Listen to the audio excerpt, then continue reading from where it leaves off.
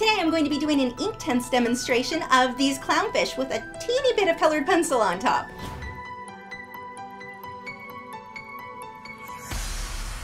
For today's demonstration, I am working on Arches Hot Press watercolor paper. This is the one that comes in the block. Currently, this is my favorite watercolor paper to use for Inktense watercolor pencils or anything where I'm going to be using water media, Graphitint, water-soluble graphite. I'm definitely really, really liking the Arches paper. And for me, I like the Hot Press just because it's much smoother, so it's easier to get some of that fine detail. I do have some cold press I need to test out though. I'll have to do a comparison video soon. If you're supporters over on Patreon, I have the real-time version of this tutorial available for you now, so make sure to head over and check that out. If you are unfamiliar with Patreon, for as little as $4 a month, you can get access to each of my new one to two hour long tutorials that I upload every single week, in addition to the already 150 or so, I think there's more than 150 now, available over there now. If you want to see what videos I do have available, I have a list to my video library below in the video description. If you click that link, you also will get instant access to my Margate and colored pencil. You can get that two hour long, two and a half, I forget how long it is. It's long, but you can watch that demonstration over there for free now, just so you get a feel for what Patreon is like. See if that's going to be a fit for you. Now let's move on to this demonstration. To start out for this, I used masking fluid to mask out the drawing I made of the clownfish on these. And now I'm mixing water. Actually, I realized my palette for the Inktense blocks was a little bit dirty, so I'm, I'm just rinsing that out with some water. Now I'm adding water with a brush to the block themselves and just applying that straight to the paper. But notice how I don't just take the block and scribble on the paper. I find when you do that, you get a more rough, kind of gritty looking texture. So there are times where that looks great, but for this, that is not what I wanted. So I mixed the, the ink mixture separately by just activating that block with water and then lifting it and painting it directly onto my paper. And I'm using a Taklon bristled filbert brush for this. You can use any, it doesn't have to be any name brand or anything like that. This one is a Royal Soft Grip, but really any of them should work fine for you. I quickly realized that green that I thought was going to look great was a terrible idea. And so I'm going to paint right over that with some of the purples. I'm not letting it dry in between any of these layers. I'm doing all of this while it's wet and just letting it the colors sort of run together, which gives you a very, very soft look. Now, once these dry completely, if you apply them the way that I'm doing here, once they dry completely, they are permanent. It is not going to lift like a watercolor would. That's the main difference between a watercolor pencil or watercolor um, pans to Inktense. Inktense, when dry, is going to be completely permanent not going to lift on you. Now, if you apply it with the block or with the pencil directly to the paper, you activate that with water. That can reactivate if you uh, go over it with another layer later on because what happens is it's very common not to completely dissolve all of that pigment that you applied with a block or a pencil to the paper. But if it's applied like this separately with the paintbrush, that's not going to lift on you at all. Taking the hair dryer to this now and drying that. And I love that these dry really matte. I mean, you can put a gloss over them if you want a gloss varnish. You, I would use a spray, not a paint for that. But for me, I love that they dry matte because they photograph so well. So I'm using a cement, a rubber cement eraser here to lift off my masking fluid. Forgot the name of it there for a minute.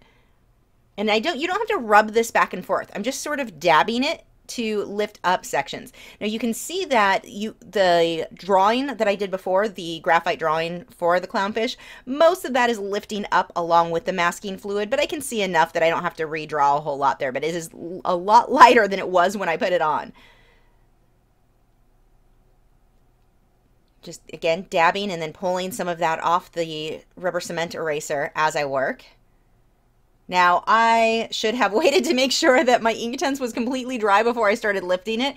It was dry on the paper, but it was still a little bit wet on the masking fluid, and that's what you're seeing why I've got these smudges on the clownfish. They would be completely clean, but when I was lifting it, I was smudging the wet areas from the masking fluid onto the clownfish themselves. Now, a tip, when you do use masking fluid, that is not intended to stay on your paper long term. That is something that you want on and off as quickly as possible. Don't leave it there for days, or you're going to be more likely to have problems with it ripping paper or causing different problems. And I've found that masking fluid doesn't play really nicely with all types of paper. If it's too soft, that can start to tear the paper. And of course, if you leave it on longer, that's going to make it more likely to tear the paper.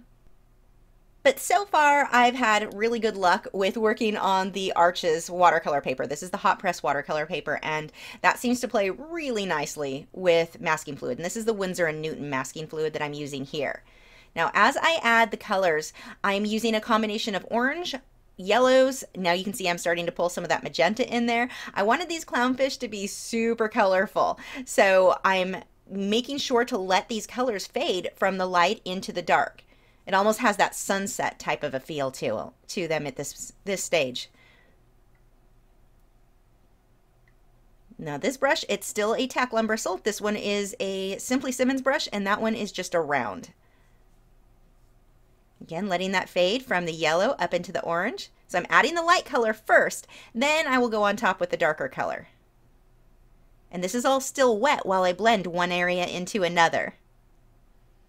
Added some of the darker reds for the top section of that clownfish.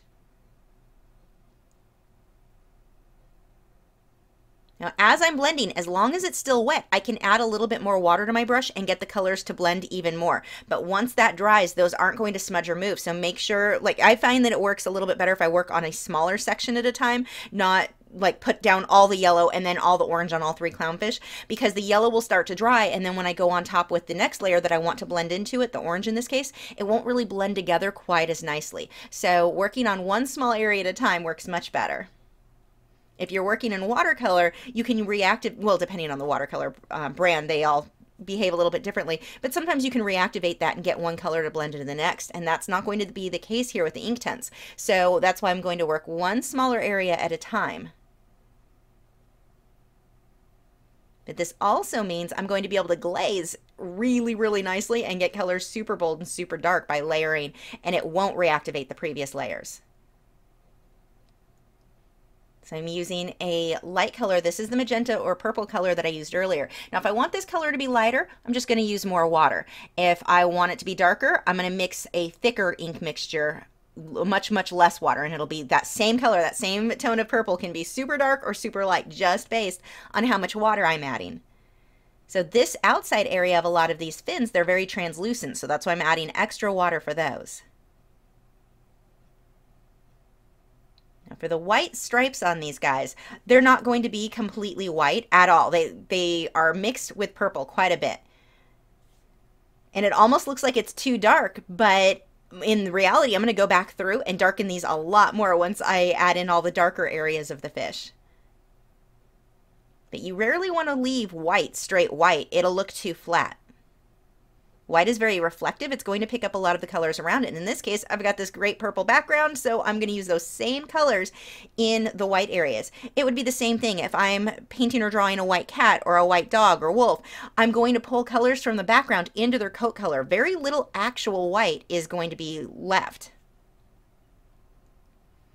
unless you use a flash, a flash will overexpose that area and make it flat white. But then where I say flat white, that's a really good description because it's very, very flat.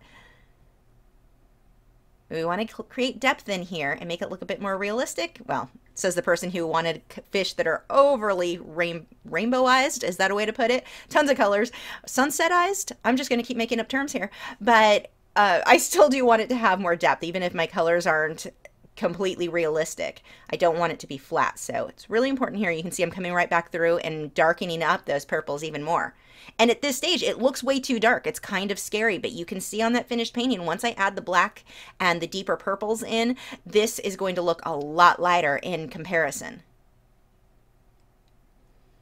So now I'm coming back through with the black this is still a round Taklon bristle brush. You can use a liner brush if you're comfortable with that. Usually if I'm going to use the liner brush with these, I go with a synthetic hog hair. So it's a little bit more stiff and that will give me finer lines. But in this case with the round brush, it's a bit thicker. But if I just apply a tiny, tiny amount of pressure to that brush, I'm able to get those fine details. So with that one brush, I can get thick lines or really tiny lines.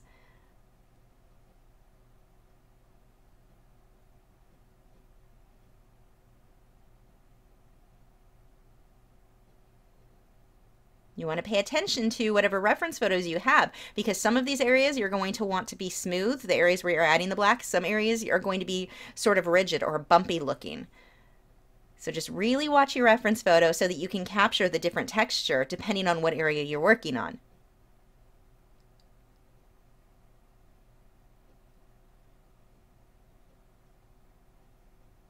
Now this layer of black it's not as dark as I'm going to want. So I will go right back over it later on.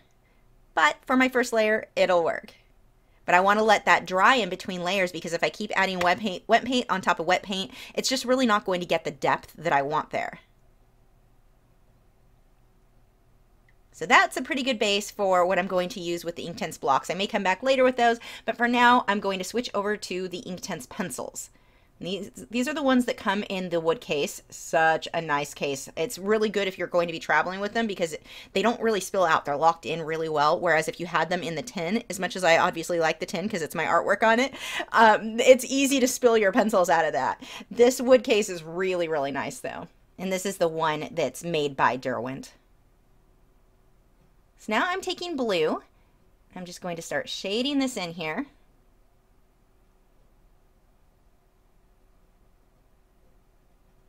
I'm adding that blue. I'm also adding some purples over the black so that it's not just flat black.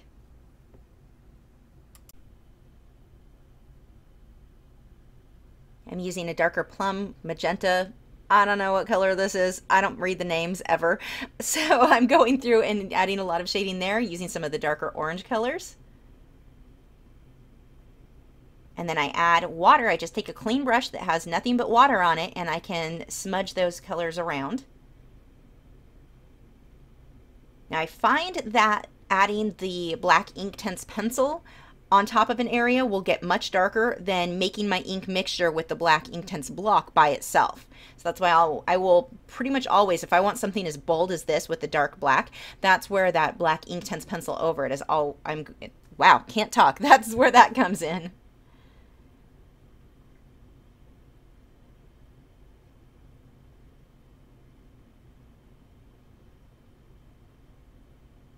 Had a little bit of an area where the background the tail, I had too much white on the tail, so I just added some of that dark purple and blended it up into the background to get rid of that, or kind of reshape that tail.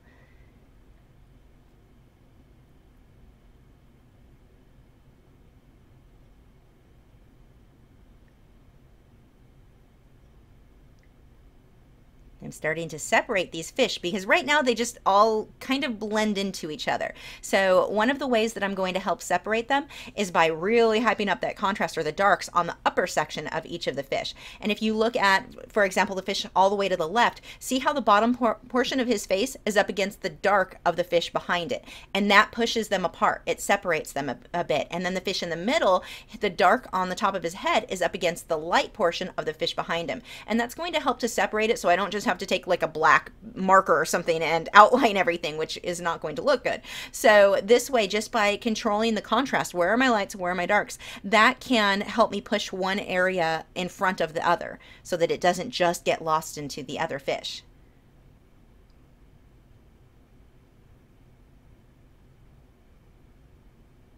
Now, I'm normally not pushing very hard with the Inktense pencils. You really don't need to unless I want something super dark and super harsh. For the most part, I'm using a pretty light hand with this.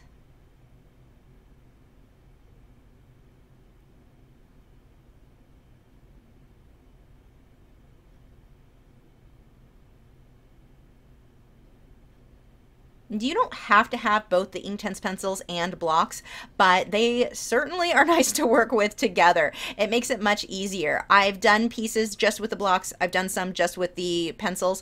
It can be done either way, but you have to to alter your techniques and using them in combination with each other definitely makes things go a lot faster I find. Mainly because the blocks, I will use those for those big areas where I'm just painting in my bigger portions of the background and then I can use the pencil for the smaller detail. It's part of what lets this process or this medium go so quickly.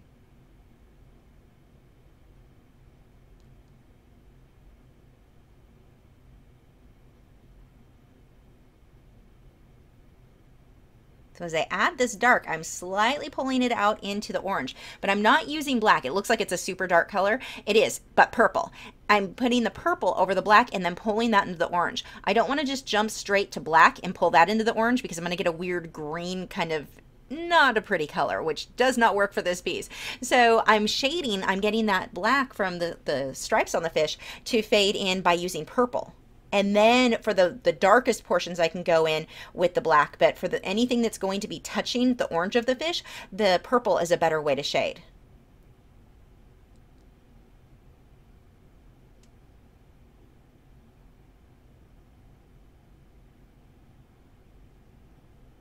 Now I'm really starting to, to hype up that contrast.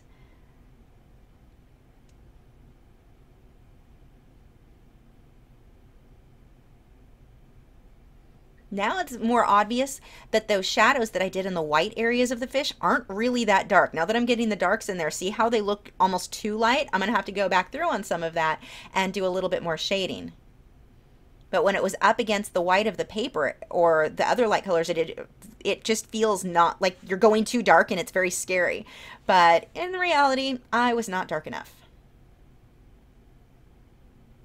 This is why normally when I paint or draw portraits, I will generally start with the hair first because that's usually on most people going to be one of the darker areas of the portrait. So it makes it easier for me to judge my values when I get into the skin tones. And that's basically what happened here. So I wanted to add a highlight. This I was just kind of experimenting with. And this stage, I didn't like how this looked, so I ended up working right over it. But I'm mixing white using the Inktense blocks and mixing their white with water and painting that over that. Now the white, it'll go on really translucent. When it dries, it's super opaque. Uh, which I knew, but I thought when I added the other color on top that it would look how I wanted. It didn't. I ended up doing a lot of shading with other colors, and then I came back later with colored pencils to get the look that I wanted. But you can see I'm just basically trying to cover up what I just did with that white. So I, I would recommend skipping that stage. Did not like.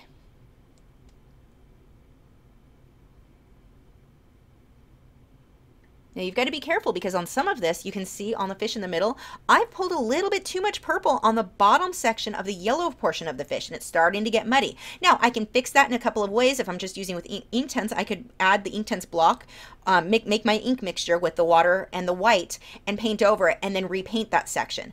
Or in this case, I'm going to make that a lot more bold, a lot brighter by using colored pencils once all of this is dry but I really wasn't happy with the muddy look I was starting to get. And here I'm using a really light yellow, which is also very opaque and dries really light, but it it gave an interesting look to the faces. That wasn't cute. Everything with art, as you're painting, don't be afraid to experiment.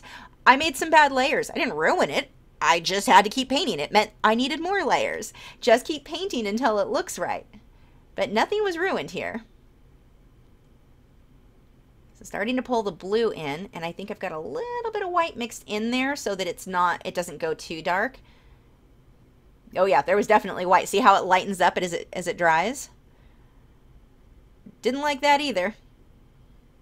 And it's funny how many stages of this I just wasn't thrilled with, but I loved how it ended up. So, like I said, when you have those bad layers, don't get frustrated, don't throw it out, figure out how to fix it because that's such an important thing in your art to really learn how to do. Learning to fix a mistake is one of the most valuable things as an artist you can learn, much more so than just doing it right in the first place because as you're painting things in the future, you may be working on a commission and something goes terribly wrong. You need to know how to fix that. You're not going to know how to fix those mistakes unless you were making mistakes earlier later on. So mistakes aren't a bad thing.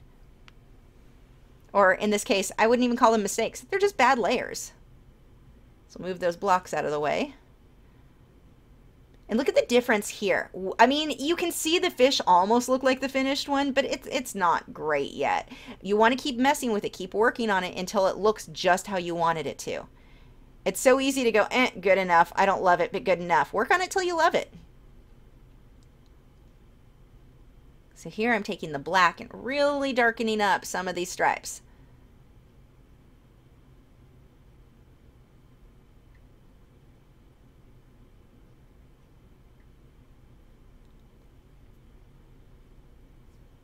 pulling some of the orange back in there, which really brightens that up. And this did help get rid of some of that muddy look that I was getting with the yellow on the fish, where I had mixed in too much purple. Now we're coming into some nicer colors. And see, I had to keep working on it. I had to keep layering it to get it to that stage. And it didn't take that much more work. But it was really worth putting in that extra effort.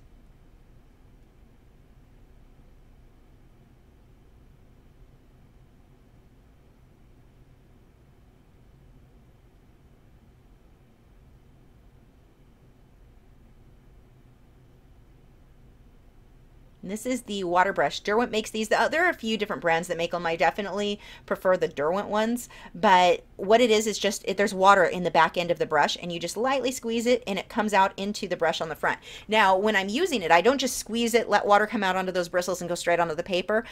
That will probably make a mess. See how I keep dabbing it onto my paper towel below the easel? And you don't have to use those. You can just use any paintbrush that you like to blend things out. These are just nice because I'm not, the way my setup is, I have to reach kind of behind me to get to the water. So it's nice just to have these water brushes sitting right under me on my easel. It definitely saves some time. I was really determined to make this blue stand out, and I wasn't loving it with the like I just wasn't getting it. So I kept going right back over. Okay, I didn't like how it came with method number one. Let's see what happens if I do it this way. I didn't like how it worked when I added the white and then the blue on top of that. So I covered it. Let's try another way. So in this case, with the blue pencil, that was standing out more, much more like what I was looking for. I knew in my head what I wanted these to look like, and I had a reference photo to get the shape of the fish, but I was definitely not going by the colors in those reference photos. Adding some white gives me some nice highlights. And now the white with the pencil, this is going to be much, much softer. And this gave me more of the look that I was going for, for those highlights. It blended in a little bit with the purple that's on the fish. It didn't come out just straight white. If I want straight white or really, really opaque white, that's where I'm going to make the ink mixture with water and the Inktense block. But in this case, I just wanted a bit of a white highlight, or a lighter highlight, I should say, not even white. But see how it blended in with the purple that was already there. The pencil will do that much better than, or give you a much more subtle highlight than the block will.